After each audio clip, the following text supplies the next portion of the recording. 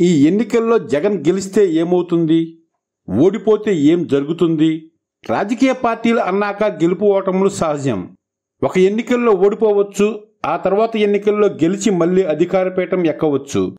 రెండు వేల నాలుగు రెండు వేల తొమ్మిది ఎన్నికల్లో ఒడిశా ఓటములు చవిచూసిన టీడీపీ రెండు వేల పద్నాలుగు ఎన్నికల్లో పుంజుకుని విజయం సాధించింది. ఆ ఎన్నికల్లో ఓటమి పాలైన వైఎస్ఆర్ కాంగ్రెస్ పార్టీ రెండు వేల పంతొమ్మిది ఎన్నికల్లో బంపర్ మెజారిటీతో గద్దెనెక్కింది. అయితే వచ్చే ఎన్నికలు అలా కాదు. ఏపీ రాజకీయ చరిత్రలోనే ప్రత్యేకమైనవి. ఈ ఎన్నికలు నేతల తలరాతలనే కాదు. పార్టీల మనుగడకు కూడా సవాల్గా మారనున్నాయి. ఒక రకంగా చెప్పాలంటే రెండు వేల ఇరవై నాలుగు ఎన్నికల లాంటివి ఇప్పటివరకు ఆంధ్ర రాష్ట్రం చూసి ఉండకపోవచ్చు. పంతొమ్మిది వందల డెబ్బై ఏడు ప్రాంతంలో దేశంలోని రాజకీయ పక్షాలు మొత్తం ఒక తాటి మీదకు వచ్చాయి. అటు పక్క కేవలం ఇందిరాగాంధీ మాత్రమే మిగిలారు. సకల రాజకీయ పక్షాలు బలమైన మీడియా మేధావులు ఎట్సెట్రా ఎట్సెట్రా ఒకవైపు ఇందిరాగాంధీ మరోవైపు మోహరించారు. ఒక్క ఆంధ్ర మినహా దేశం మొత్తం మీద కాంగ్రెస్ వ్యతిరేక పవనాలు వీచాయి ఇందిరాగాంధీ ఓడిపోయారు.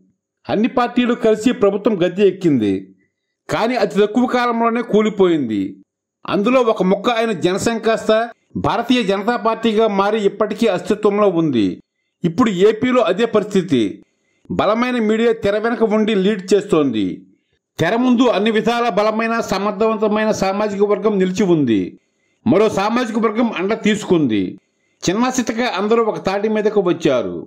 వామపక్షాలకు కలవాలని ఉన్న బీజేపీ అక్కడ ఉండడంతో కలవలేని పరిస్థితి.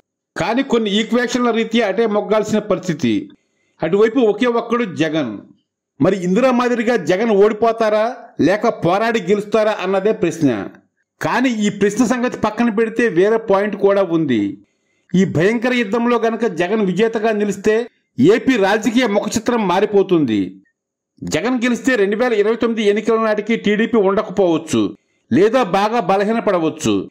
ఇప్పటి వరకు టీడీపీకి అండదండలు అందిస్తున్న బలమైన మీడియా కూడా ఇక బలహీనపడిపోవచ్చు. పవన్ కళ్యాణ్ రాజకీయం కూడా అయోమయంలో ఉండిపోవచ్చు. చిన్న చితకా పార్టీలు దుకాణం సర్దేసుకోవచ్చు. ఎందుకంటే ఇంత భారీ యుద్ధం మరోసారి చేసే అవకాశం ఉండకపోవచ్చు. ఇంతమందిని మళ్ళీ సమీకరిస్తున్న తెర వెనక శక్తి ఇక సన్నగిల్లిపోవచ్చు జగన్కు ఎదురీదే ధైర్యం సత్తా ఇక ఇప్పట్లో ప్రదర్శించే అవకాశం ఎవరికీ ఉండకపోవచ్చు. ఇదంతా ఈ ఎన్నికల్లో జగన్ గెలిస్తేనే.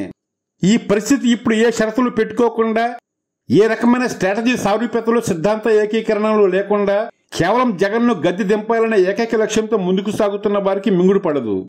వాటి శిబిరాల్లో శ్మశాన వైరాగ్యం అలుముకుంటుంది. జగన్ గెలిస్తే పరిస్థితి ఎలా అయితే ఇక ఓడిపోతే ఏం జరుగుతుంది? ఐదేళ్ళ పాటు జగన్ ఇబ్బందులు పడవచ్చు న్యాయ పోరాటాలు సాగించాల్సి రావచ్చు. రెండు వేల పద్నాలుగు రెండు వేల పంతొమ్మిది స్థాయి పోరాటాలు మళ్ళీ చేయలేకపోవచ్చు.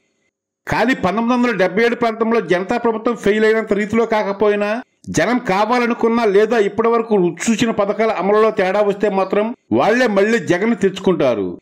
గతంలో ఇందిరాగాంధీ మళ్ళీ బంపర్ మెజారిటీతో గద్దెనెక్కినట్లే. జగన్ కూడా రెండు వేల ఇరవై తొమ్మిది ఎన్నికల్లో మళ్ళీ అధికారంలోకి వస్తారు. ఆ తర్వాత జనతాలో చాలా అంటే చాలా పక్షాలు మాయమయ్యాయి. ఇప్పుడు అదే జరుగుతుంది.